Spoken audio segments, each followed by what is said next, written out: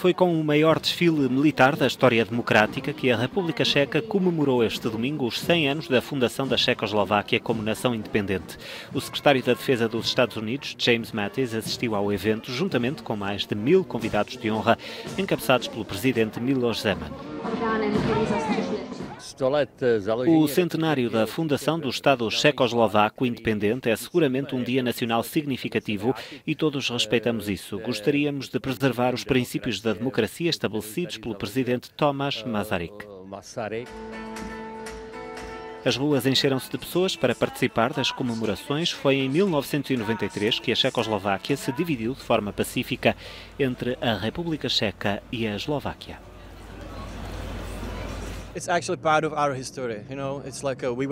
É parte da nossa história. Estávamos juntos e agora não estamos, mas não penso que sejamos como inimigos. Os países ainda cooperam e penso que é bom.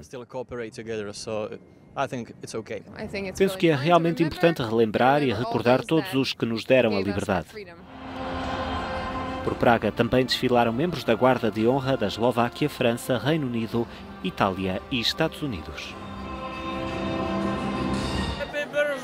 Čekoslovákie!